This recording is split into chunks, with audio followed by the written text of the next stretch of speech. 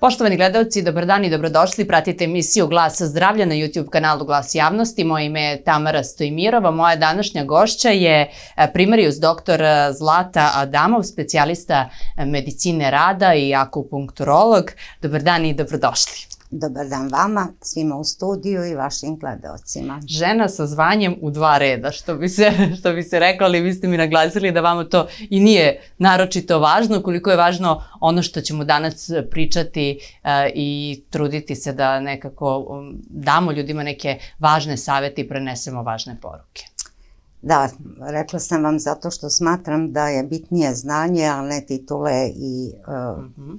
to što možemo da stavimo na zidove i primjena toga što kroz takvo sticanje određenih diploma čovek može da nauči i primeni i pomogne ljudima. Je praksa negde važnija od... Svakako. Da. Svakako. I iskustvo koje se stiče, jer jedno je su teorijska iskustva, teorijska znanja, a iskustvo koje vi nadgrađujete takođe doprinese tome da to bude primeljivije. Mhm. e, kada smo razgovarale o tome šta, sa čime početi, vi ste rekli hajte ono što ljude najviše boli. Ja bih počela sa jednim pitanjem i zanima me vaše viđenje. E, da li je danas zdravlje isključivo odsustvo bolesti ili nešto više od toga? Pa da probamo nekako iz definicije svetske zdravstvene da dođemo do toga šta jeste zdravlje. Nije odsustvo bolesti, nego fizičko, mentalno, emocionalno, socijalno blagostanje. I ako to analiziramo, da shvatimo šta je u stvari i koliko je malo ljudi u stvari zdravo. Mm -hmm. A, I kada bi svim mogućim testovima proanalizirali svakoga od nas, sigurno bismo našli svašta nešto. Tako da je pitanje šta znači biti potpuno zdrav. Međutim, e, kada čovek razmišlja malo, naš organizam je vrlo dinamičan. Svaka ćelija koji broj e, različitih funkcija obavi u jednoj sekundi samo, to je vrlo dinamičan proces i pitanje, znate, kad razmišljate malo ozbiljnije, 50.000 malignih ćelija se svakoga dana u našem organizmu stvori. Da li je naš imunitet spreman da na neki način odbrani taj naš organizam, e, o, to, taj aspekt je možda najvredniji i najznačajniji kako očuvati mm -hmm. imunitet, kako sačuvati te naše e, božanske potencijale koji su nam dati. Je to izazov danas, u današnje vreme? Jeste. Jeste i to e, na svim nivoima, u svim društvama i svim kulturama. Bez obzira što se smatra da, je, da istočnjaci imaju manji nivo stresa zato što su drugačije i genetski e, pripremljeni za jedan drugačiji život od kulture koja podrazumeva e, oslobađanje od stresa, meditacijom, vežbanjem i tako dalje. Zapadnjačka civilizacija nam je donela nešto što se zove hronični stres. Zato što je stres odličan, to je odbrambeni mehanizam. Ako se setimo mačke koju uplašite, šta uradi? Nakostreši se. Nakostreši se, frkće mm -hmm. uh, i spremna je ili za borbu ili za beg. To isti mehanizam se dešava i u čoveku. Međutim, pošto on ne beži, a nije u stanju ni da se bori, on potiskuje i određeni neurotransmiteri koji se luče naprave određene probleme u organizmu. Mhm. Šta da radimo da postanemo mačka? A, mi jesmo već mačka, samo kako iz te faze a, doći u to da smo spremni da uđemo ili u tu pod znacima navoda borbu, jer hteli ili ne, život jeste pod znacima navoda opet borba. Znači, ako tako doživljavamo okolnosti i situacije u kojima živimo. Ali je jedna mala vežbica. U trenutku kada se osjećate napetim, kada osje... Jer znate da ljudi kada im je teško, kad im je puna glava, šta urade? Da mi probamo nešto drugo. Da našim kaži prstom uradimo to, da pritisnemo jednu tačku, radite i vi to slobodno Dobro. i isto kažem i gledalcima. I usmerite pažnju na dodir naše kaži prsta sa čelom i 30 sekundi držite i probajte da vidite šta se dešava. Da li je prst hladan, da li je čelo hladno, da li je toplo.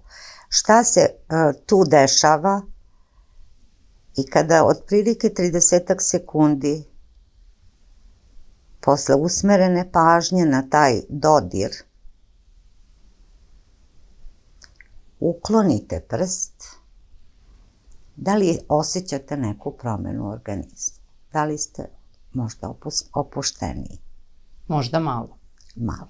Možda ovo nisu uslovi, jel tako, za... Svejedno, nikad nisu uslovi. Nikad nisu uslovi. nikad nisu uslovi. Aha, dobro. Zato što gde god da se nađete, vi ćete biti u situaciji da vas nešto čačne, izazove, neki zvuk, nešto što ste videli, neko vam je nešto rekao ili na neki način okolnosti i brige koje nosite sa sobom kao svoj životni krst. Mm -hmm.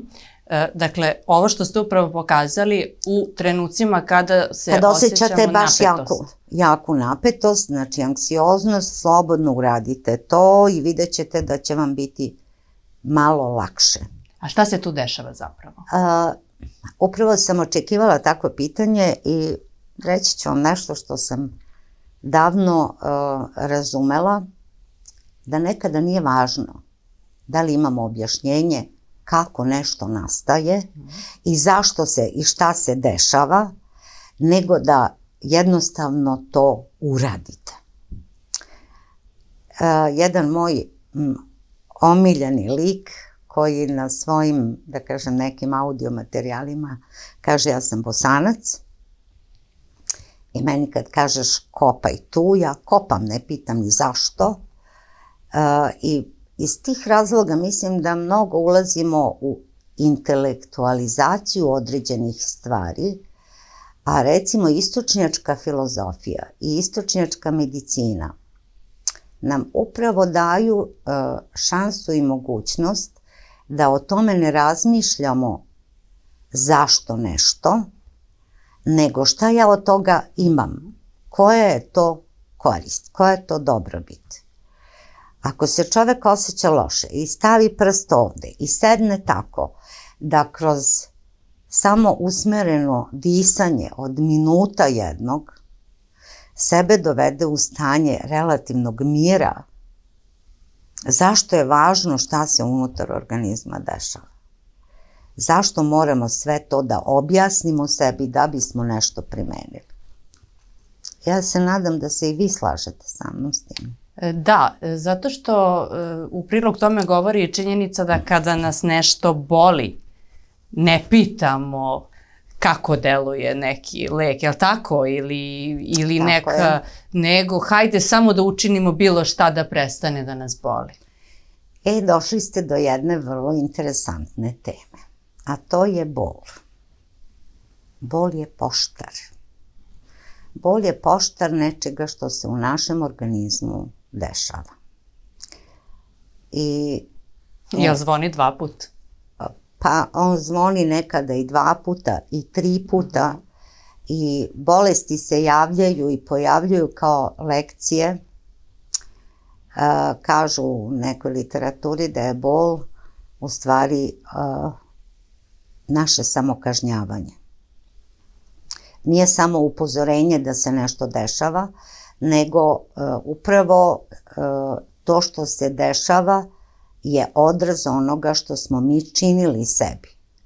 I kako i na koji način da se iz te pozicije čovek uh, usmeri na to da dođe do toga šta je uzrok tom bolu. Najjednostavnije uzeti lek. i on će u prvom trenutku rešiti problem, da li su analgetici, spazmolitici, svejedno, ali je mnogo važnije da znamo da tu lekciju dobro prostudiramo i razmislimo šta su uzroci. Jer tek tad, kad dođemo do tih korena, nažalost, uh, naša medicina, ne samo zapadnjačka, nego čak i istočnjačka, se bavi, um, kaže, medicus curat, natura sanat. Lekar leči, a priroda isceljuje. I prošli put kad sam gostovala pričala sam o samo isceljenju i to jeste nešto što um, je možda, opet se vraćamo na to šta, šta se tu u stvari desilo. Ali kakve to veze ima? To je jedan klik koji se dogodi u organizmu da se napravi poremećaj promena u metabolizmu, u padu pritiska, ali kakve veze ima šta se tu desilo? Mm -hmm. Disanjem koje je usmereno možemo da regulišemo i pritisak, ali ne može odmah, ne može onog sekunda. Naravno, kad sažvaćete lek koji će oboriti pritisak, a šta se posle dešava?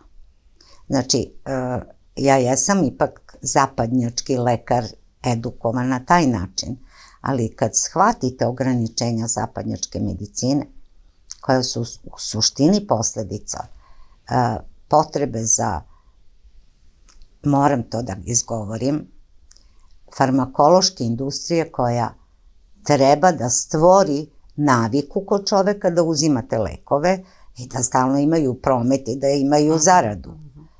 Kako se okrenuti? Da, privremeno rešiti to. Ali kako se kroz e, korekciju ili životni stil čovek može usmeriti na to da može da se samo isceli. To su glavna pitanja koja ja mislim da i većina lekara sebi postavi, ali da a, zbog toga što je očekivanje pacijenata, jer su tako edukovani, jednostavnije im je da dođu kod lekara. Aha, bavim se sobom, otišao sam kod lekara. Dobio sam recept, lekar me je pregledao, pipnuo, znači jedna razmena bioenergetskih polja lekara koji je dobronameran, ako ima vremena, razume se. I to je jedan placebo efekat. Mm -hmm. Ali kakve to veze ima? Opet se vraćamo na to. Šta ima Glavna veze? Rečenica. Pa, jeste. Ako je čoveku lepše, lakše, bolje se osjeća, manje ga boli, da. nema veze. Ali opet se sad analizom onoga šta je dovelo do toga, čovek usmeri da svoju lekciju nauči. Iskustvo koje sam imala sa jednom poznanicom iz Australije, koja je do sada u poslednjih deset godina tri različita maligniteta, znači jedan je isceljen, drugi, treći i sada je u fazi četvrtog maligniteta različite etiologije. Da kroz tri puta lekcije koje dobijete, kažu, Bog ti daje jednu lekciju, pa nauči, ako si ponavljač, uči iz drugog puta. Međutim, svaka lekcija sledeća je teža. Teži je domaći zadatak koji treba da rešiš. I sad se vraćamo na to kad sam malo pre rekla, socijalna, ali izostavili smo jedan jako važan element, a to je i duhovna inteligencija koja je svima nama potrebna. Ali za to je potrebno imati životni stil koji će vam dati dovoljno vremena da se bavite i tim duho, duhovnim radom. Nije dovoljno sve to, nije dovoljno, šta, šta znači zdravlje?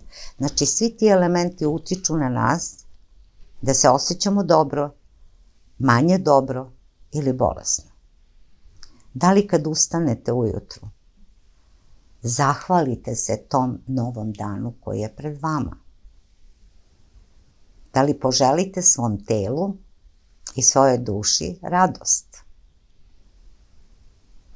Kažu, jedina svrha naša na ovoj planeti je da širimo ljubav. A kako se manifestuje? Kroz radost, koju kroz svoja bioenergetska polja takođe širimo. Da li ste primetili kada uđete u neku prostoriju da unesete neku drugu energiju u mhm. taj prostor.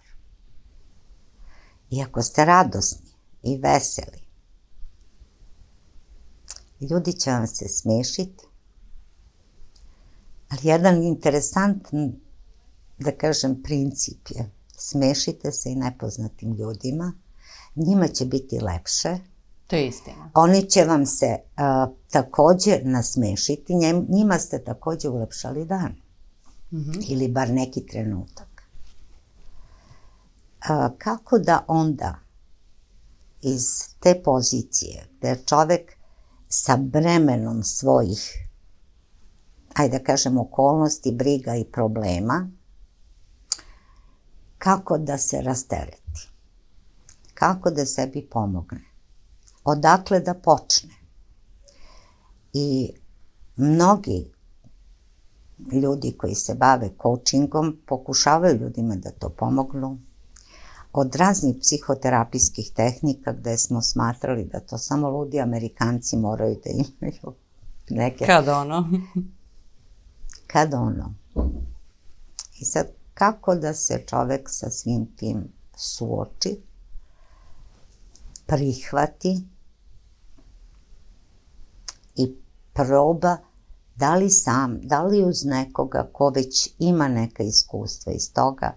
Danas bar na YouTube-u ima puno, puno toga gde čovek može da se malkice edukuje, da nauči neke tehnike kao što sam prošli put i pričala o čišćenju kanala. Mnogo im se e. to dopalo, recimo, gledalcima. Zvali su me, zvali su me i uh, pitali su me da, da nastavim čišćenje i drugih kanala i mm, aj kasnije ćemo napraviti još jednu malu vežbicu. Uh,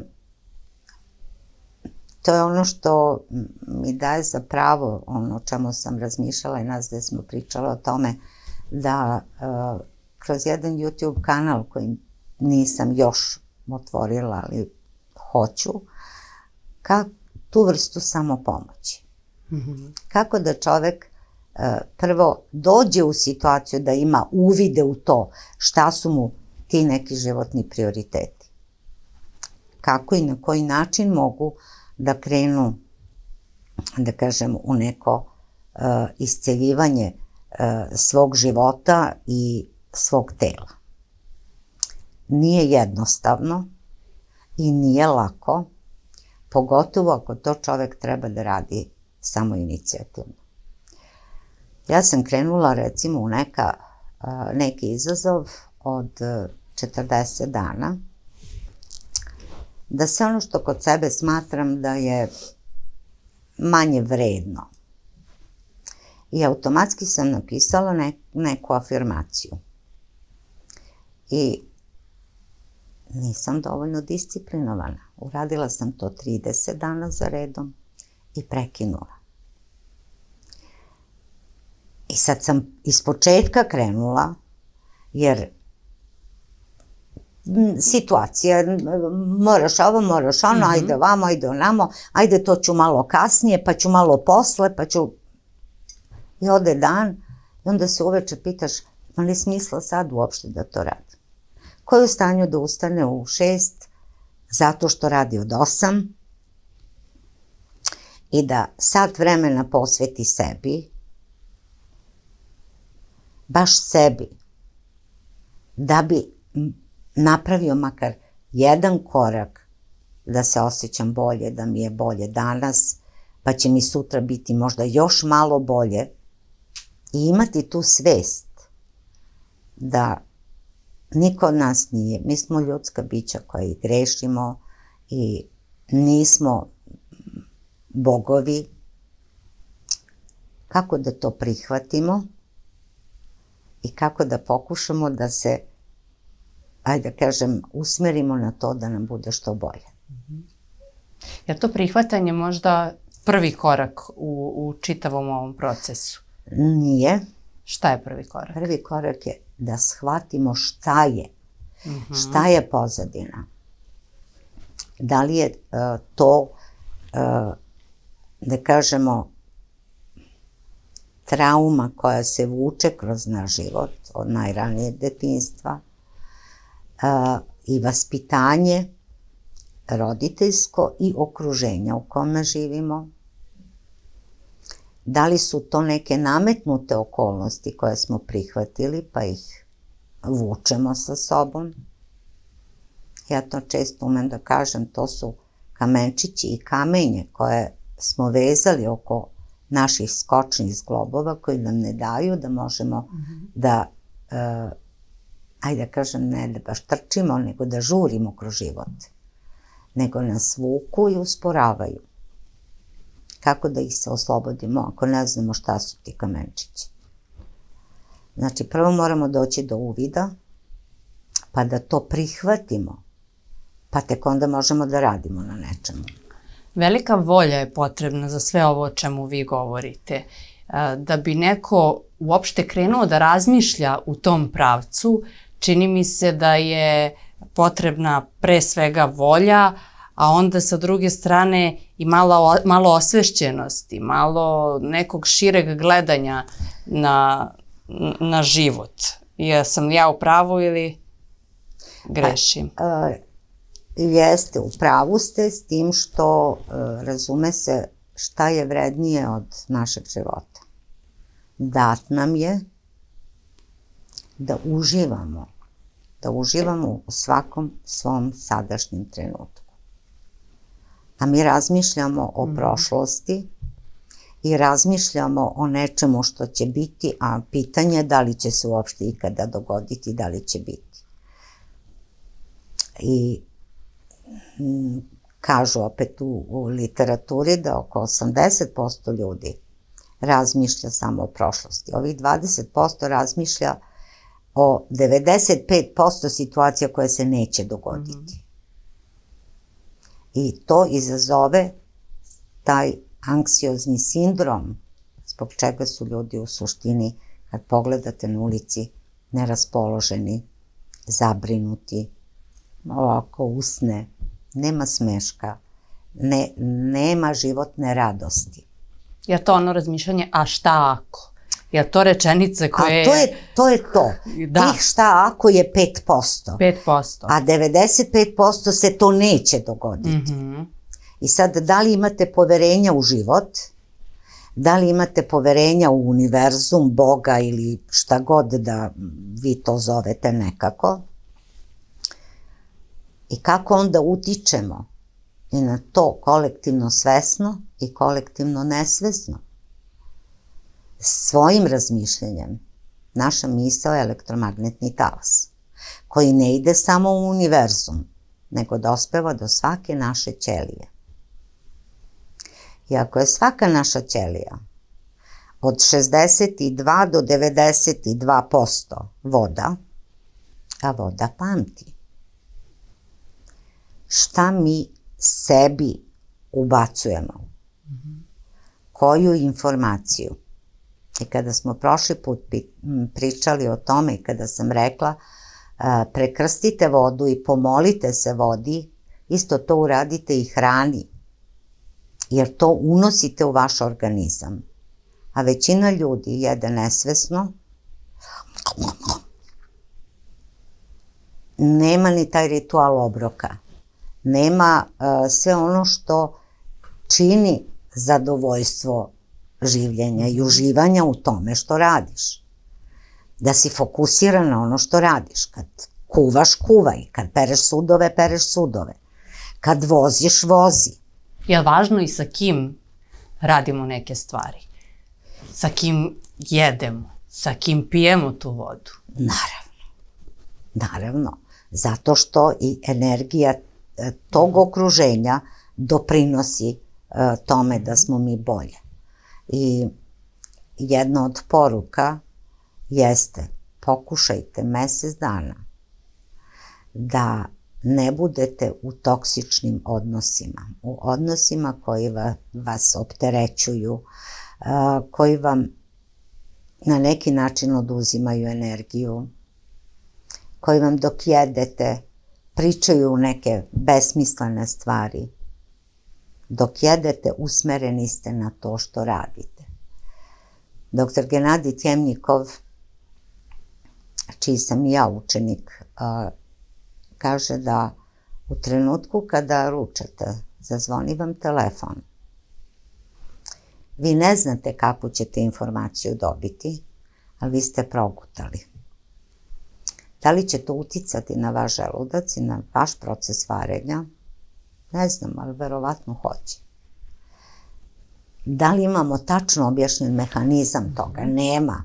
Ne znamo. Ali deluje tako. Sad, kako da se e, zazvonio je telefon, pa šta? Kad završite ručak, javite se osobi. Nikome ne gori kuća. Do te mere da morate da se javite hitno. Mm -hmm. Jel možda to objašnjenje zašto su ljudi nekada, bar nam se čini, bili e, zdraviji i srećni? Evo sada dali ste mi e, jedan dobar e, uvod u, u, naredno pitanje. Nekada nije bilo šta da zvoni ili kada zvoni nije zvonilo toliko često. Ili je tamo negde u nekom hodniku stajao neki fiksni telefon pa ponekad pozovu neki rođaci da pitaju kako smo. Sada Nek... se to dešava stalno. Ali nekada nije bilo ni tog što je u predsoblju. Mm -hmm. Ali šta su ljudi radili? Imali su taj ritual obroka. Yes. Znači, vreme kada se obično ruča. Koje je to vreme? A znate li zašto je baš to vreme? To ljudi nisu znali. Mm -hmm. Nisu imali odgovor za to. Zato što je tada probavni sistem najpripremljeniji. I žučna kesa, i pankreas, i želudac. Znači, e, ima smisla. A to što mi sada e, dozvoljavamo sebi da ručamo posle posla, posle pet i u šest niti ručak niti večera, pa onda u 11 sati ste gladni ponovo, ili u 10 pred spavanje, i onda u frižider i nije uh, fiziološki mm -hmm. opravdano. Znači, ljudi su krenuli u autofagiju, znači različite stvari koje su bile uh, možda nemaju dovoljno tih korenitih objašnjenja zašto je to tako, ali da ima smisla, ima smisla. I onda moram, morate mnogo duboko da se vratite u neku istoriju, u tadašnje uh, rituale i tadašnji način života i funkcionisanje. Kad su ljudi odlazili na spavanje? Zašto? Zato što nije bilo struje, ali nije bilo struje, ali je u to vreme organizam pripremljen, znači vegetativni sistem se priprema za san, za bazalni metabolizam.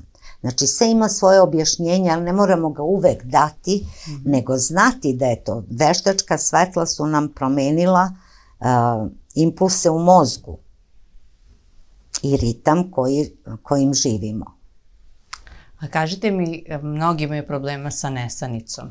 Jel postoji tu neka vežba, Mno, mnogima biste pomogli ako biste nam onako a, nešto rekli a, po tom pitanju. Da li postoji nešto što možemo uraditi pred spavanje a, i da nam pomogne da brže utonemo u san? Ja ne znam da li znate koliko ljudi je danas da se žargonski izrazim, na tabletama, jer ne mogu da spavaju, jer imaju problema sa nesanicom i tako dalje. Nesanica je simptom. Mhm. Nesanica je posledica, sem u vrlo malim procentima gde je to, najde da kažem, neki ozbiljniji poremećaj ili neka e, bolest. I naravno da uvek ima rešenja, ali opet se vraćamo na to da je za to potrebno uvid, disciplina, e, psihosomatska oboljenja su sada oko 90% svih oboljenja su mhm. psihosomatske prirode. Poštujući vegetativni sistem, ti funkcionalni poremećaj se neće manifestovati.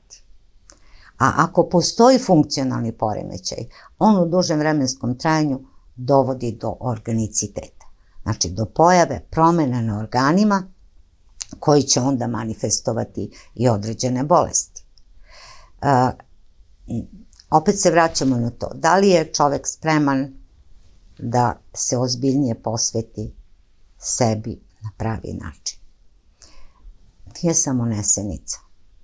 Poremećaj u ishrani koji dovode ne samo do gojaznosti, ne samo do uh, insulinske rezistencije, do diabeta kod mladih ljudi. Znači, to su u suštini sve psihosomatski poremećaji koji se manifestuju, ali vrlo brzo, vrlo brzo dolazi i do oboljevanja. Znači, kako sprečiti sve to, to jeste ozbiljan, ozbiljan posao. I kao lekar uvek sam bila usmerena na to da želim da se bavim pod znacima navoda zdravim ljudima. I moja mentorica iz Dream Builder programa me je u jednom trenutku pitala a šta si radila 34 godine? Bavila si se bolesnim ljudima. Nisi ostvarivala svoju životnu misiju. Jesam puno toga naučila, jes, ja, sam, ja to volim. A s druge strane, da li ja volim sebe?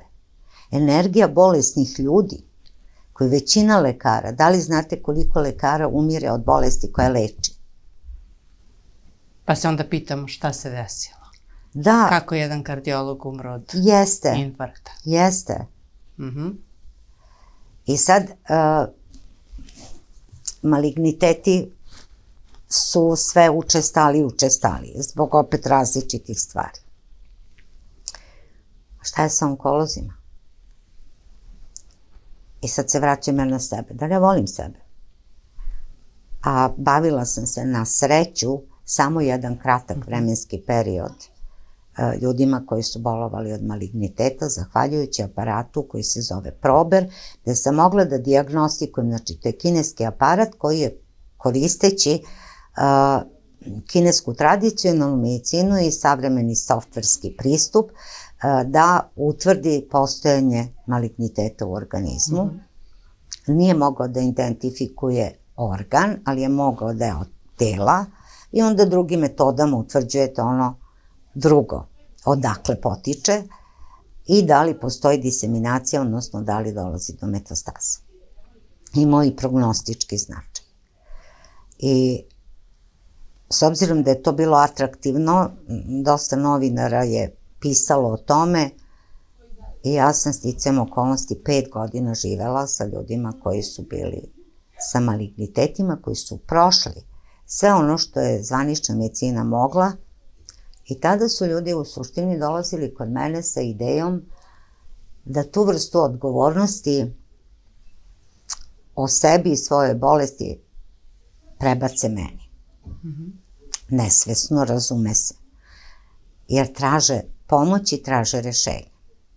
Ali nisam ja bila ta koja sam i pomoć i rešenje, nego oni sami. I na sreću bilo je dovoljno ljudi koji su uh, prihvatili tu vrstu odgovornosti uh, i svojim daljim postupcima sebi pomogli da žive 10-15 godina nakon uh, toga a nažalost neki nikada nisu prihvatili to kao nešto što je, da kažem, neminovnost. Mm -hmm.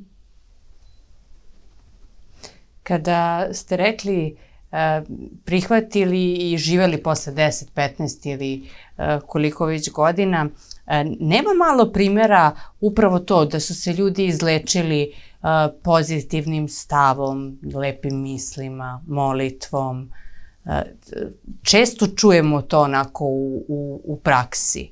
koliko, i sami sada povezujemo ono što ste malo čas pričali, e, da naše ćelije zapravo upijaju naše misli, jel tako? Eto nekog možda objašnjenja, jel to, ja savjetujete to svim ljudima koje nešto boli? Naravno. Da. Naravno. S tim što to može da bude stvarno iz srca. Uh mhm. -huh. Ne mehanički, znači. Ne mehanički, uh -huh. ali mora u početku makar i mehanički. Dok ne dođete uh -huh. do toga da to osvestite, da to prihvatite, jer naš um može da se reprogramira.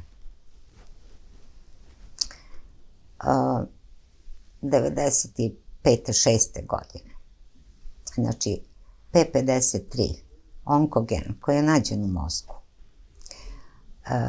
vam dokazuje da je to ipak posledica svih onih stvari koje se ovde dešavaju. Jer vraćamo se na početak našeg mhm. razgovora, šta je to što radimo da očuvamo svoj imunitet, da bismo uh, kvalitet svog života poboljšali i povećali. Danas kada pomenemo imunitet, uglavnom ljudi po, prvo pomisle na napitke koje u sebi sadrže džumbir i te tako neke zdrave namirnice i misle tako se stiče, odnosno tako se čuva imunitet. Po čitave vaše priče vidim da ste vi onako potpuno uh, suprotni od onoga što je negde univerzalno pravilo. Šta je, kako da steknemo dobar imunitet? Šta biste nam dali kao glavni savet? Glavni sastojak kada nije džumbir? A, ja ne negiram ni ishranu, mm -hmm. ni nutrijente, ali uvek se vraćamo na to da je naša misao najodgovornija. I sad šta su naše misli, odakle naše misli potiču, šta se tu dešava, e, zašto imamo stalno potisnute strahove, e, ono šta ako. Mm -hmm. To, to je projekcija u suštini straha. Imamo često potrebu da se kritikujemo. Kada ste sebe pohvalili? Bez toga da e, pravimo od toga predstavu zato što ste dobru emisiju radili, ne. Nego zato što ste bili zadovoljni i nešto lepo uradili, napravili buketić jedan koji ste stavili na svoj uh, trpezarijski sto. I da kažete, jao, Tamara, što si ovo lepo uradila. Moja mentorica, opet je spominjem, Snježana Ristić, od njene mentorice iz Amerike, Mary Morrissey, je dobila domaći zadatak. Da svaka dva sata sebe mora da pohvali. Za to što je u tih dva sata nešto Dobro. uradila. I navijala je prvo na telefonu uh, sat i jedan dan me zove, pošto živi u Sloveniji, uh, i na Zoomu mi pokaže veliki sat, uspela je da nađe u Ljubljani peščani sat koji curi dva sata. Stvarno, fenomenalno. Da bi onda uh, tačno znala Aha. da ne mora da gleda Aha. u telefon i da sve ono što je u tih dva sata uradila dođe do toga da mora da se pohvali i da time stiče uh, jedan nivo samopouzdanja i samopoštovanja. Mm -hmm. I od toga počinje ta neka ljubav prema sebi. Bez obzira što mi imamo svi i mane i vrline, ali učeni smo stalno da gledamo u negativno, stalno smo učeni da gledamo šta nam fali, a nismo usmereni na to jedna od rečenica afirmacije koje ja od, izgovaram, znači onog trenutka kada moja pažnja odluta i usmeri se na nešto negativno, odmah pokušam da vidim nešto lepo. Mm -hmm. Da zamenim svoju misao, jer u isto vreme ne mogu dve misli biti u, u mozgu. Da li je to moguće? Pa moguće. A da li je uvek uspevam? Pa ne uspevam. Pa šta onda? Ali je važno da čovek investira tu svoju neku unutrašnju vitalnu energiju da usmeri na to što mu može pomoći. A sve što radimo, samo mala promena nam dovede do velikih rezultata ako smo stvarno spremni da se usmerimo na to. I e, ta vežba koju sam malo pre spomenula, da te svoje strahove, da sve to um, ajde da kažem na neki način, e, kumulirano i kroz život i kroz trenutne okolnosti. Od Zdenke Andrić e, iz njene emisije Zlatni zdenac, jednu vežbu koju, koja se meni dopala, pa ću vam sada ovaj, reći šta je pametno. Sednete opušteno i zamislite na veliku logorsku vatru ispred sebe. Dobro kako pucketa, kako osjećate i onaj dim, gledate to svetlucavo, e, svetlo i razmišljate šta se nosite u sebi u svojim rukama. Akupunkturne tačke počinju i završavaju na prstima ruku i nogu. I sad ako zamislimo da svaki od naših prstiju nosi određenu energiju određenog, određenih organa i čakri. I sad nije ni važno koji su sve to organi. Nije ni važno čemu sve to može da služi. Ali je vežba jednostavna. Da zamislimo kako povlačenjem od korena prsta povučemo, zatvorimo oči i bacimo u vatru i brže bolje zamočimo taj prst u čašu ili u šolju određene boje koja doprinese vraćanju energije. I recimo, uradimo to isto za kaži prst, za svake od tih prstiju i na obe ruke. I probajte, vežbajte i radite to svaki dan, traje 3,5 minuta, ali svejedno. Da li ćemo ili nećemo napraviti neki rezultat, ne znam. Za sebe znam da meni to pomaže, pomaže. kad hoću mm -hmm. da, da to radim. Znači, e, palac je plava, nebesko-plava boja, recimo tako nekakva. E, ovo je srčana čakra, kaže prst, i nju močite u zelenu boju.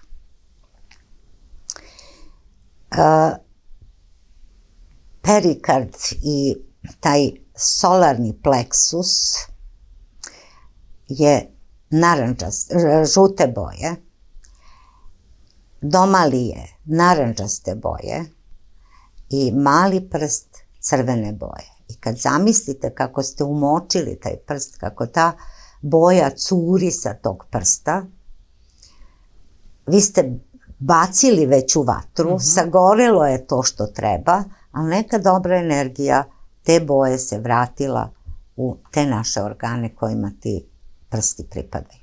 Uradite to. To ne košta ništa, jednostavno je, a može uvek da pomogne.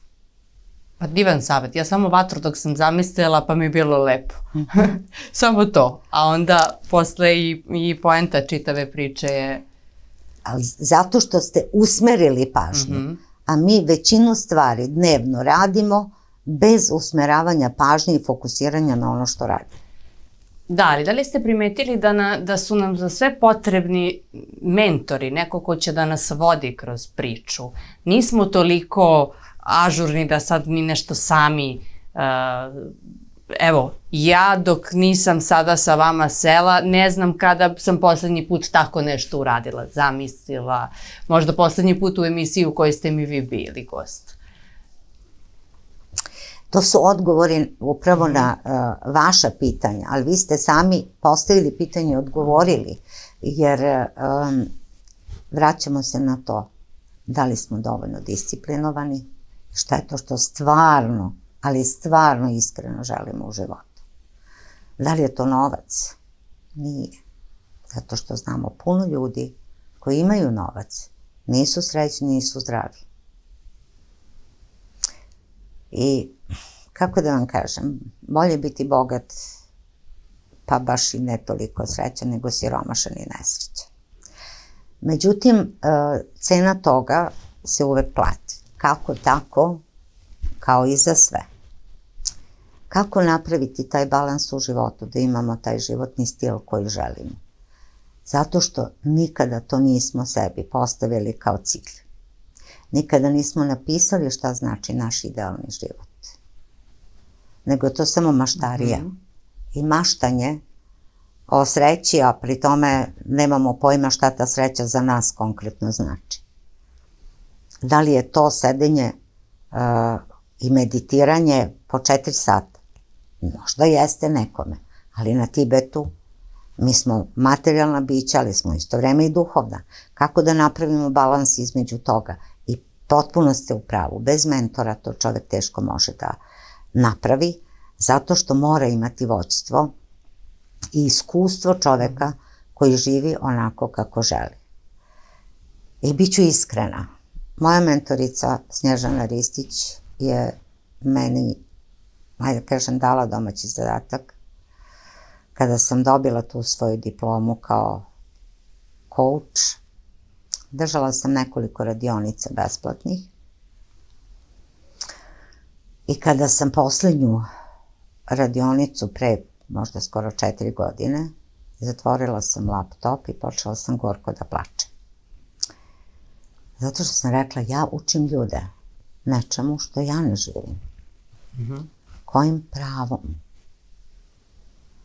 I kada pogledate i na YouTube-u ljude koji ne žive onako kako biste vi želeli, a pričaju vam o tome, dobro razmislite da li ćete ih slušati. Odličan savet. I do dan danas još uvek ne živimo onako kako bih želala, mm -hmm. ali to vreme je vrlo blizu. Tako da se nadam da ću imati prilike i zadovoljstvo da isto te besplatne radionice držim uživo, da mogu ljudima da pomognem i svoje iskustva i svojih grešaka koje sam pravila, koje ću i dalje praviti, da se razumemo. Živ ste čovek. Tako je. Odnosno žena. Ali uživam u tom procesu. Mm -hmm. I kako kažu knjige, život je putovanje, a ne destinacija. Hm. Pa eto, neka to bude divna poruka i za kraj ovog našeg razgovora. Uh, vama mnogo hvala na jednoj lepoj energiji i prijatnom glasu, ovaj, zato što čini mi se da je to isto jako važno, umirujući je. Ja verujem da je tako delovao i na sve one koji su vas slušali i gledali u ovom trenutku uh, i hvala na opet uh, divnim, jednostavnim, besplatnim savetima koje ste dali našim gledalcima. Ja verujem da će onako, da će ih primeniti ili bar početi da razmišljaju o primeni. Bilo mi je zadovoljstvo i još veće bi mi bilo zadovoljstvo da vaši gledalci bar nešto od toga primene, mm -hmm. a, dobiju ne, neko svoje iskustvo i svoje mišljenje o tome, neka vam napišu neki komentar, neka mi se jave slobodno. Kako da vam se jave? Samo to ih uputite, molim vas pa mogu vam ostaviti broj telefona, ne, nemojte ga kačiti, nego neka se vam, vama jave ili redakciji, Važi. pa ćete lakše ovaj, moći da im omogućite. U krajnjoj liniji imaju moju Facebook stranicu, pa mogu da me nađu i to eto i to je, pa mislim e, kako je kome šta lakše, eto. Ko hoće nađe e, način. Tačno, upravo to. E, kada sam se malkice pripremala za ovu emisiju, ja sam napisala neke poruke i možda bi pročitala neke od njih, ali opet bez objašnjenja zašto je nešto važno. Ali evo, Izvolite. kao podsjetnik. Smešite se nepoznatoj osobi. Pohvalite sebe svaki dan. Slušajte odabranu muziku zbog energije i frekvencije, a i plešite, odaberite i neku koja će vam omogućiti da plešete zato što je energija fizička koja se pri tome oslobađa izuzetno važna. Komunicirajte sa životinjama i biljkama. Provodite u prirodi, hodajući i na suncu. Čitajte. Čitajte ne baš bilo šta, pokušajte da nađete nekoga ko će vam omogućiti da vas usmeri na određeno štivo Učinite nešto novo u svom životu, nešto što nikada niste radili. Poštujte ritual obroka. Planirajte budućnost, bez obzira što ne znamo da li će se ostvariti. Postavite ciljeve.